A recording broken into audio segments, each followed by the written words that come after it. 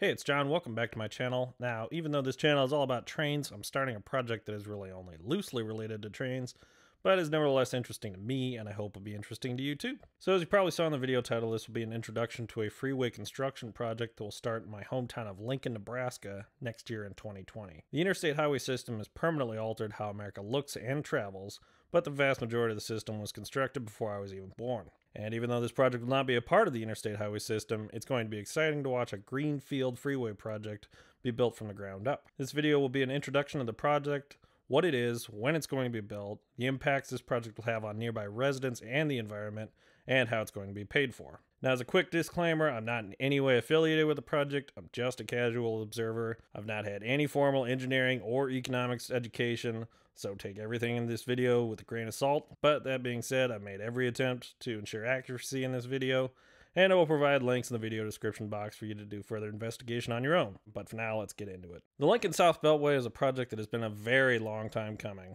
It was originally proposed in the 1960s as the interstate highway system was being planned and constructed, but due to the cost of the project, it was often talked about, but the project remained an idea until more funding was made available. Same is true for a future planned East Beltway, but there are currently no funds available for that project. The Lincoln South Beltway is the largest project that the Nebraska Department of Transportation has undertaken, and while there have been much larger highway construction projects in the state, most notably in Omaha, this project is being almost entirely funded and managed by the state without much federal involvement. Now, the main purpose of this project is to divert traffic along Nebraska Highway 2 around the city of Lincoln. The eastern portion of Highway 2 runs between Highway 77 in the west and the Iowa state line at Nebraska City.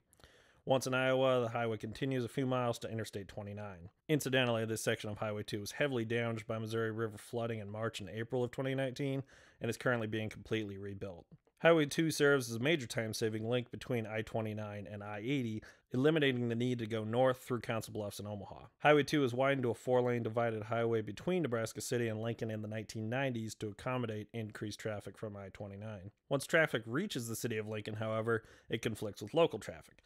And while Lincoln is a city of fewer than 300,000 people, there's a lack of high capacity cross-town arterial roads, and moving across Lincoln can be tedious, particularly during rush hour. Traffic along Highway 2 in Lincoln is also constrained by no fewer than 15 traffic signals.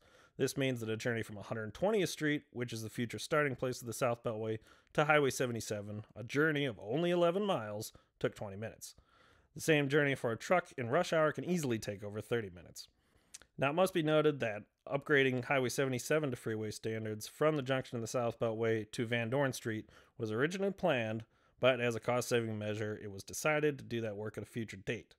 This means the traffic from the Beltway to I 80 will still be constrained by three stoplights, but the trip will still be faster and safer than traveling Highway 2 on its current alignment. The Lincoln South Beltway will start at 120th Street in the east and run to the intersection of Highway 77 in the west. The interchange with Highway 77 is going to be quite substantial, with many retaining walls and bridges.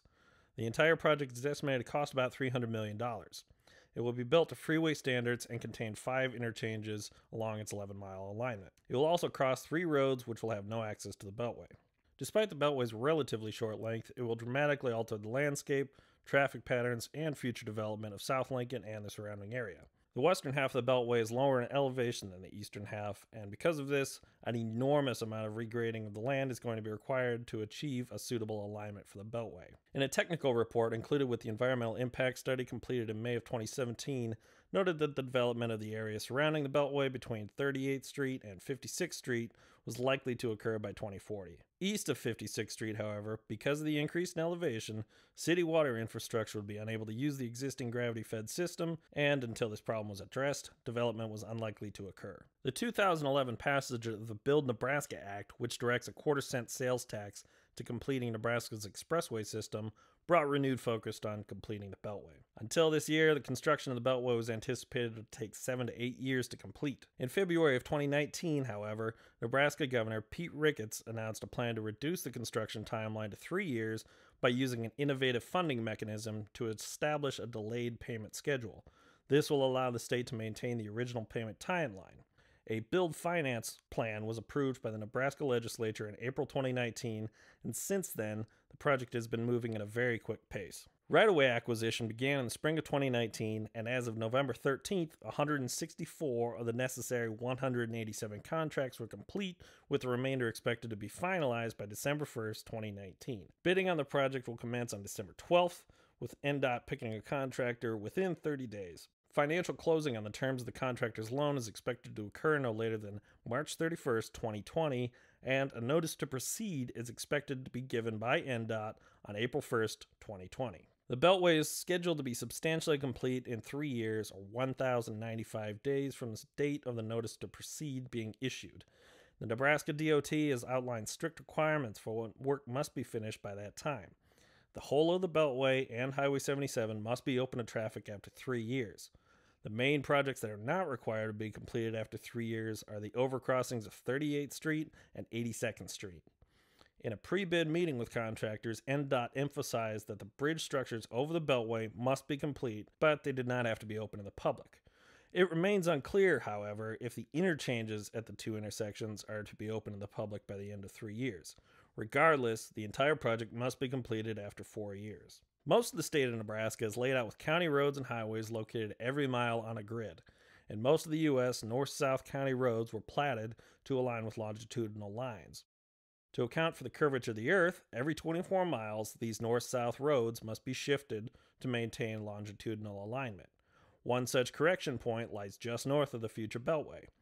Roads south of Saltillo Road are shifted two city blocks west of the roads north of Saltillo Road, resulting in six disconnected county roads. Construction of the Beltway will link two of these roads together by shifting the alignment of the roads south of Saltillo Road to the east. Three of the roads will not be aligned, and one road, 27th Street, will be realigned to join the adjacent correction road, 38th Street. Acreages surround the intersection of 56th Street and Saltillo Road, and therefore the road will not be realigned. This will permanently slow traffic on a road that is quite busy in the city of Lincoln. The process of constructing the Beltway is going to be fairly disruptive to the surrounding area. NDOT has mandated that for each closure of one north south arterial road, both adjacent arterials must remain open. In this example, 68th Street is closed, therefore 54th and 82nd Streets will remain open. The majority of alignment passes through farmland, however, three homes and three businesses will have to be relocated as part of the project. Despite the idea of the Beltway developing since the 1960s, the alignment wasn't finalized until the environmental impact study was completed in 2002. As with all infrastructure projects that cause displacement, opposition from residents is likely to arise. There has not been too much public opposition to the project, however. At the final public meeting of the project, some people questioned whether the project should be built further south of Lincoln. The state responded that building the beltway close to the city was important to ensure that truck traffic was diverted from Highway 2 in Lincoln. Despite the lack of significant public opposition to the project, there are 17 tracts of land that the state has had to pursue condemnation hearings on. One of the most visible changes to the area will be along Saltillo Road, which is just north of the future Beltway and serves as a de facto beltway for locals accessing Highway 77. As development has boomed south of Lincoln, traffic along Saltillo Road has increased, resulting in several injury accidents over the past two decades. To help with this problem, five roundabouts will be constructed at the intersections where arterial roadways are realigned.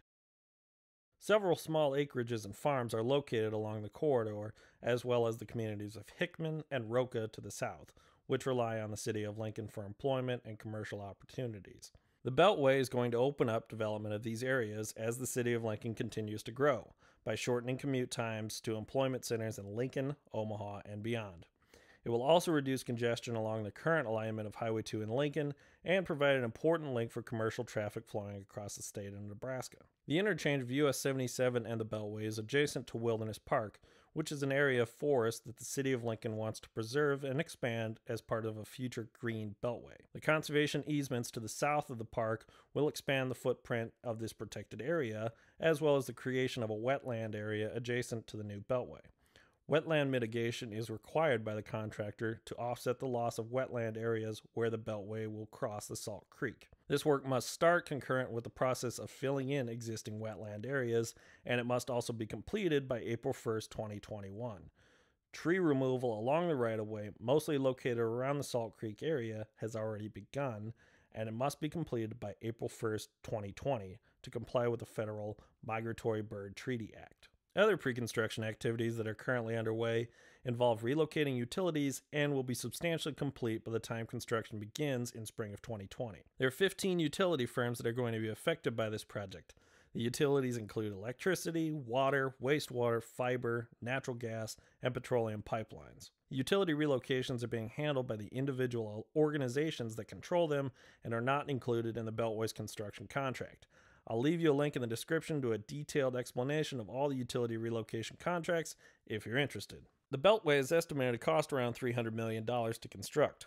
Once the final bid is announced in early 2020, the cost might rise, but as it stands, the state of Nebraska is funding 80% and the city of Lincoln will contribute the remaining 20%.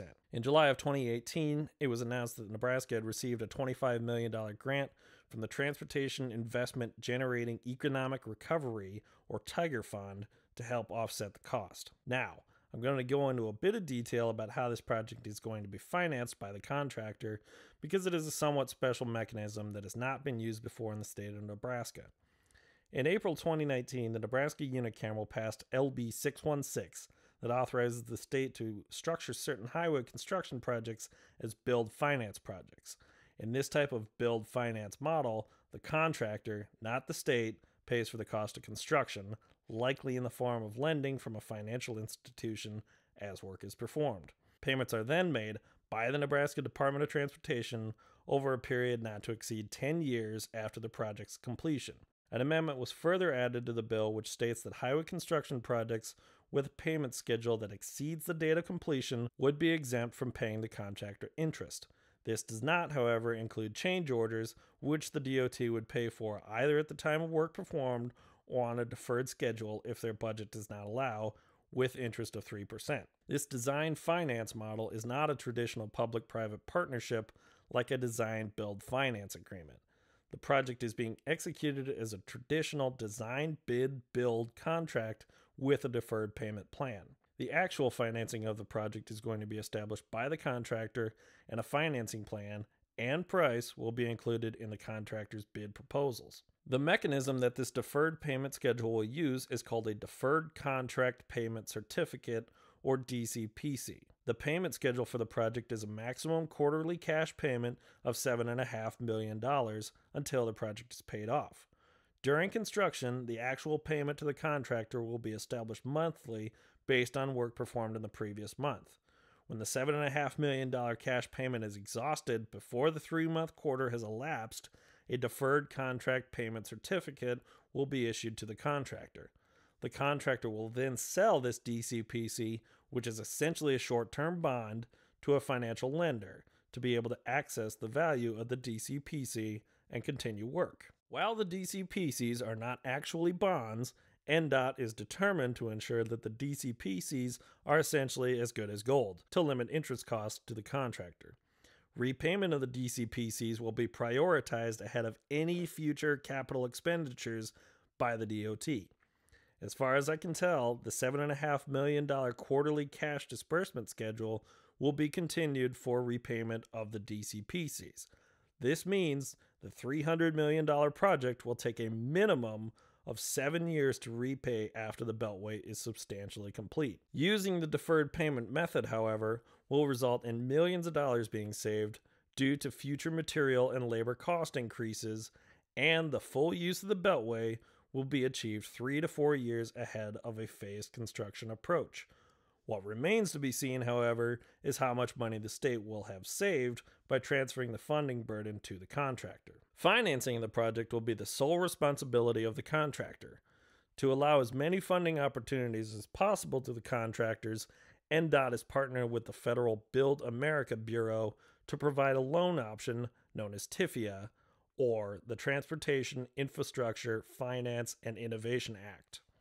Now, for anybody interested in the Build America Bureau, which has overseen the TIFIA and railroad rehabilitation and improvement financing programs since 2016, I recommend watching the video that NDOT posted that explains the two programs. While TIFIA is primarily a loan program for highway construction, both of these programs have been used to fund railway and transit projects, and that presentation gave me a much clearer understanding of what the programs actually are. But regardless, here's a list of the benefits of using a TIFIA loan to finance a portion of this project. The main downside to using a TIFIA loan is contractor familiarity with the process. In the two pre bid meetings that NDOT held with contractors, a lot of the questions asked were related to unfamiliarity with the process of applying for and conforming to federal standards necessary to acquire a TIFIA loan. Of course, some of the big construction companies bidding on this job will have experience with TIFIA, but it remains to be seen if the winning bidder will use the TIFIA program or opt for an alternative funding strategy. The other main downside to using a TIFIA loan is that the loan can only cover 33% of eligible project costs.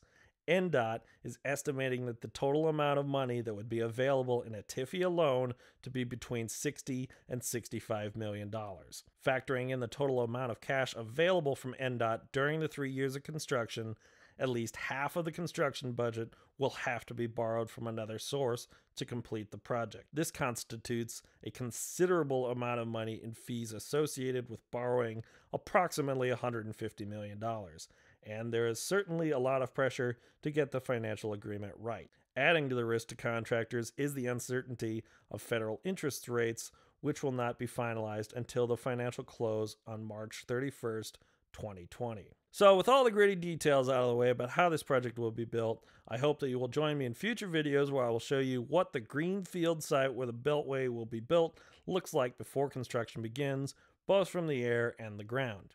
I'm looking forward to following this project throughout the course of construction, and I will be sure to keep you updated as the Beltway gets built.